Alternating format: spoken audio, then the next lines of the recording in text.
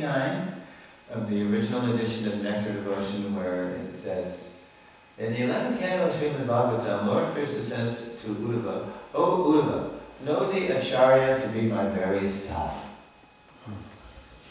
We know it now as Acharya Mam That's a famous verse. Now we know the verse. You know. So they had the Abheda down. They knew that, that the Acharya was non-different from Krishna, but they forgot the bheda. They had the difference. they had the oneness. And again, it's because they had been minimizing Prabhupada and now they were trying to, they were maxing, they were overdoing it the other way. They were overcompensating for their previous offense of being affected by the contamination coming from India that Prabhupada's an ordinary man, this stuff. So they were becoming, they were becoming jealous of Prabhupada. They thought that they were being controlled by Prabhupada, this ordinary man. And then they realized their offense, and then they overcompensated by saying he's Krishna. It was a psychological flip-flop. They went from one extreme to the other. And then when Prabhupada kicked them out, you know, they were totally confused. They were totally bewildered. You'll see this. I get into the whole thing in uh, chapter lesson nine, Friday night. Fictional Prabhupada. That's the first one. Is that the one about Ritwik also? That's yeah, we do we deal with Ritwik in that lesson. That's the last one we deal with.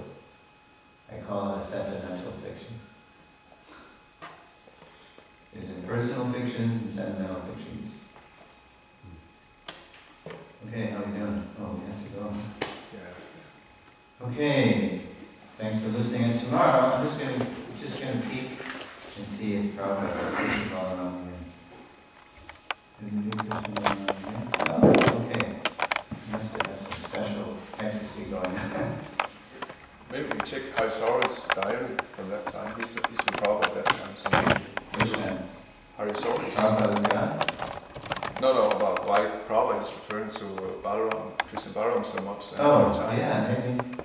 I mean, Yeah. because it, I mean, of course it's 100% relevant, but then again, it's, it's not obvious from the verses as such. Yeah. Or, Yeah, yeah, there's all kinds of. I forget the context now, but somebody asked Prabhupada what was going on when he was in trance. I think this is regard to Prabhupada. Oh, I was wrestling with Balaram. At least that's how the